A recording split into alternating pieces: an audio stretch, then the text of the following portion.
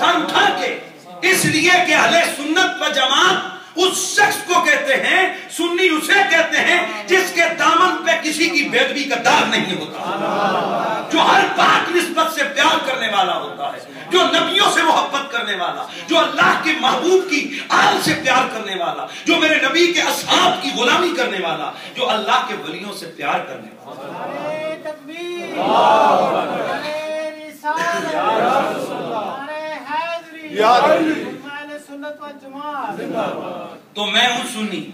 हमारे सुन्नी अकीदे में एक और फ़िक्र का मैं जो आज जो मेरा उन्वान है, जिसको मैं मैसेज देना चाहता हूँ। वो ये है, वो मैसेज ये है और वो अकीदा और वो नज़रिया ये है। रब तो देख रहा है, हमारा अकीदा है, नबी भी देख रहा है।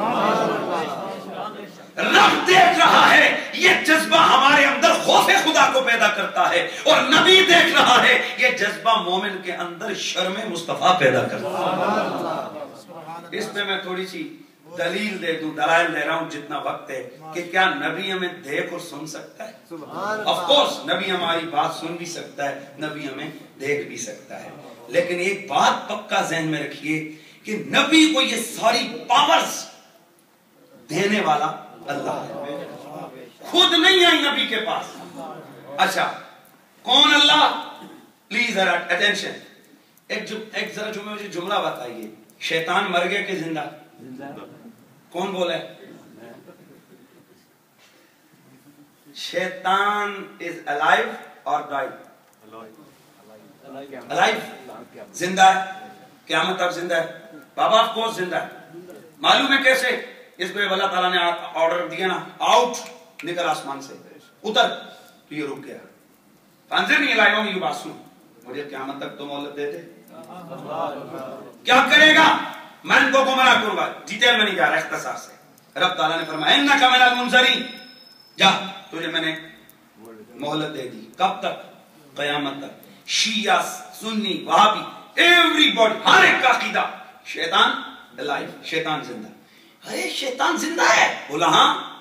यार, ज़िंदा है? कहा? तो यार अल्लाह की तो पे कोई फ़र्क नहीं पड़ता? क्या झगड़ा क्या है? रब ने ज़िंदगी दी है। हैरत की बात है। और जो रब दुश्मन को ज़िंदगी दे सकता है वो अपने महबूब को ज़िंदा नहीं रख सकता।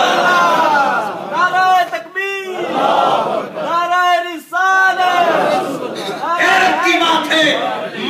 पे आओ तो शैतान के लिए भी मान लो और न मानने पे आओ तो रब के महबूब के लिए भी ना मानो। ये अजीब सी सोच है, ये अजीब सा मरहला फ़िक्र है। आइए, हम वो लोग हैं जिन्होंने अकायद और नजरियात घर बैठ के नहीं गढ़े हैं। कहीं ये मोइनुद्दीन अजमेरी ने सिखाए हैं, कहीं हज़रत मेहर अली ने बताए हैं, कहीं ख्वाजा, हज़रत ख्वाजा हिंदुल वली ने बताए हैं, कहीं हज़रत सरकार गौसे जली ने बताए हैं। हमने उन औलिया के सदर से इल्म सीखा है जिन्होंने बारगाह रिसालत से हासिल किया तो मैं अर्ज़ कर रहा था हजरात कि नबी हमारा देखता भी है और नबी हमारा सुनता भी है। दिखाता और सुनाता कौन है? आइए इस पे कुरान मजीद की एक आयत दलील देता हूँ। वैसे तो अल्लाह के फजल से मेरे उस्ताद ग्रामी हजूर किबला सैयद आकाई किबला पी सईद हसीनुद्दीन शाह साहब के कदमों में सैयद बादशाह हैं। और याद रखिए, जिसकी रगों में मेरे नबी का खून आ जाए, वो आम लोगों पे क्यास नहीं हो सकता। और ये भी अपना अकीदा मज़बूत रखें, ये भी सुनियों का अकीदा है। ये भी किसी आसमान से मैं लेके नहीं है, ये भी सुनियों का अकीदा है। हमारे ओलिया किराम का अकीदा है कि निस्बतों का एहतराम। आज हम लोग जनाब जाके पत्थर को चूमते हैं। और यार, पत्थर को चूम रहा है, सोने को कभी नहीं चूमा। कहा, ये पत्थर पत्थर नहीं, ये वली की कबर से लगा हुआ मल्लाल है। तो आम पत्थर जब वली से लग जाए चादर से मस्त हो जाए उसका इतना एहतराम होता है तो जिसकी रग में मेरे नबी का खून हो उसका कितना एहतराम तो मेरे हजूर के बिला सईदी सईद हसीनुद्दीन शाह साहब आपकी निगाह करम है अल्लाह का फजल है आपने कदमों में बिठा के दो बार बुखारी पढ़ाई है। तो मैं उस तरफ़ अर्ज़ कर रहा हूँ थोड़ा सा जुमला सुनिए। कुरान पाक सूर्य हज। हज़रत इब्राहिम सलाम को अल्लाह करीम ने ऑर्डर फरमाया इब्राहिम इस्माइल चलो काबे की तामीर करो अल्लाह घर की क्यों लित्वाहिफीना वल आकिफीना वरो के सुजूद प्लीज़ मैं दर तरान्नुम में नहीं जा रहा क्योंकि वक्त थोड़ा है, और मैं चाहता कि जरा आ जाए। लित्वाहिफीना वल आकिफीना वरो सुजूद तवाफ वाले तवाफ करें वाले बैठे, रुकू और वाले, वो अपना काम करें। अगला अर्ज़ किया क्वेश्चन अल्लाह, हम बना तो देंगे, पर आएगा कौन? वीराना सैकड़ों मील दूर कोई नामो निशान नहीं, आबादी का। कौन आएगा? आए हाय। मेरे रब ने फरमाया, ओ मेरे इब्राहिम, तेरा काम है इस घर की तामीर कर देना। मेरा अपना काम है यहाँ के नमाजियों, हाजियों को बुला देना। जनाब हज़रत खलीलुल्लाह ने हज़रत जबीउल्लाह के साथ मिलकर अल्लाह का घर तामीर फरमा दिया। जब काबा तामीर हो गया, अर्ज़ की, मौला, अब नमाजियों को बुलाओ, अब हाजियों को बुलाओ। मेरे मालिक ने फरमाया, चल पहाड़ी पे चढ़ जा। ऐलान कर वअल्लिम फिन्नासी बिलहज्ज यातूक रिजालन वअला कुल्ली दामिरी यातीन मिन कुल्ली फज्जिन अमीर ए प्यारे पहाड़ी पे खड़ा हो जा। ऐलान कर लोगों को हज के लिए बुला। या अल्लाह, मैं ऐलान तो करूँगा। वो यो है जो नहीं तो वो सुने के कैसे? फरमाया तेरा काम है आवाज़ बुलंद कर देना मेरा काम है उन्हें सुना देना। अल्लाह अल्लाह मालिक ने फरमाया ऐलान कर तू देखेगा कि दूर दूर से इतने दूर से हाजी आएँगे कि सवारियाँ उनकी चल चल कर दूर दूर के कोनों से पहुँचेंगे कि सवारियाँ उनकी दुबली हो जाएँगी। इतने दूर दूर से आएँगे। जनाब इब्राहिम अलैहिस्सलाम खड़े हुए तफसीर कुर्तबी तफसीर मदारिक तफसीर दुर मंसूर तफसीर बेजाली अगर मैं तफासिर का नाम लूँ तो तकरीबन तमाम जमहूर तफासिर ने इसको ज़िक्र किया। जनाब इब्राहिम ने आवाज़ लगाई। अल्लाह ने वो आवाज़ दुनिया के हर कोने में हत्ता के आलम अरवा में रूहों को सुना दी। और जिस जिस रूह ने वहाँ लब्बैक कहा, अब ज़रूर अल्लाह उसे काबे के तवाफ की सादत तो मैंने और आप में से जिस जिसने काबे का तवाफ कर रखा है, वो है हमारी रूह ने वहाँ पर लब्बैक कहा। तो यकीनन हमें सुनाना हमारी रूह ने। भाई हमें याद नहीं है प्लीज़ हमें याद नहीं है, क्योंकि हमारे जिस्म और रूह के मामला और है कि हमारी रूह पे जो गुजरी जिस्म को पता नहीं, जो जिस्म की बहुत सारे मामला हैं, वो रूह के वाले से और है, लेकिन कुछ वो है।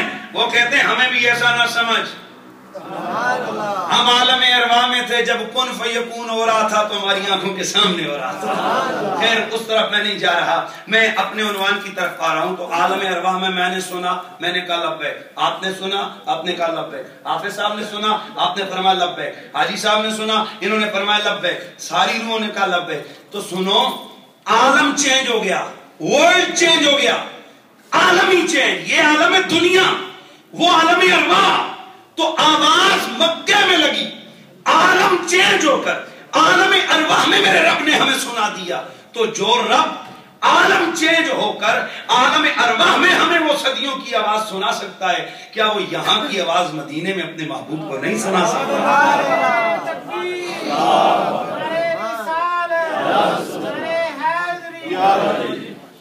तो फिर मैं क्यों ना कहूँ कि हम यहाँ से पढ़े?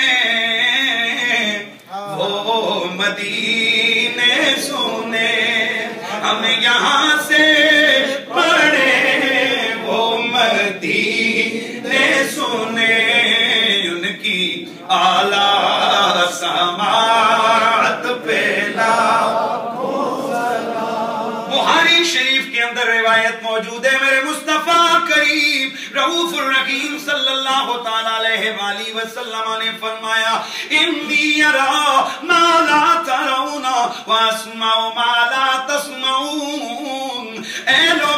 जो मेरे कान सुनते हैं, वो तुम नहीं सुन सकते। जो मेरी आँखें देखती हैं, वो तुम्हारी आँखें नहीं देख सकती। या रसूल अल्लाह आप क्या सुन सकते हैं? मेरे नबी ने ऊपर देखा, फरमाया समा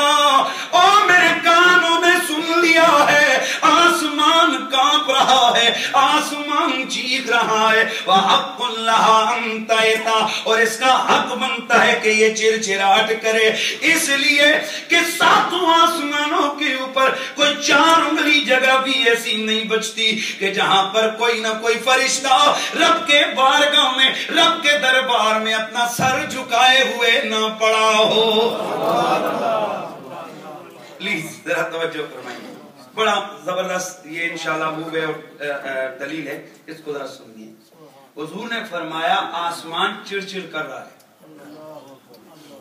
और हक बनते है इसका चिड़चिड़ाए क्योंकि सातों आसमानों पर चार उंगली जगह भी ऐसी नहीं है कि जहाँ पर कोई ना कोई फरिश्ता सर झुका के रब के आगे सजदे में ना पड़ा अच्छा बजाय तो सुबह अल्लाह हो गया, लेकिन आइए डीपली जाके थोड़ा सा समझते हैं।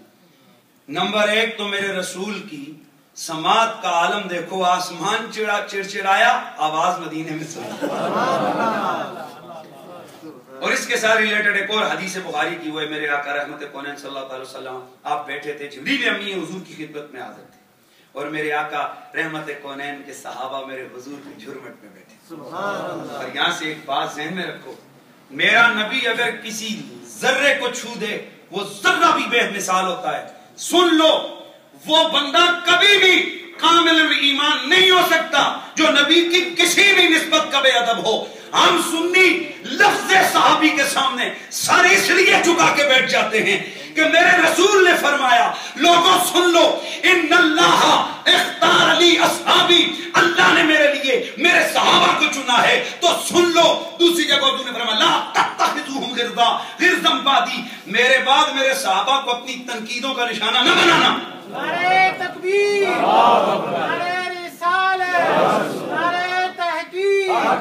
याद रखिए कि जिन सहाबा की असमतों का आलम यह है, उनके पाँव से जो खाक लग रही है, मेरा अल्लाह कुरान उसकी कस्में इरशाद फरमा जिनके घोड़ों के कदमों से खाक लगे, उसकी कस्में मेरा मालिक इरशाद फरमाए। यार, हम तो वलियों के मजारों पे, दरबारों पे जाकर चूमने वाले लोग हैं। करोड़ों वलियों को एक परड़े में रख दो। मेरे नबी के एक दिन के साहबी को एक परड़े पे रखो। दर्जा मेरे मुस्तफ़ा के साहबी वाला बात। इसलिए मेहनत होना चाहिए। तो मेरे नबी के साहबा, और मालूम है कि साहबा को ये पावर कैसे मिली? चिल्ले से। हज से? कसरत इबादत से? नो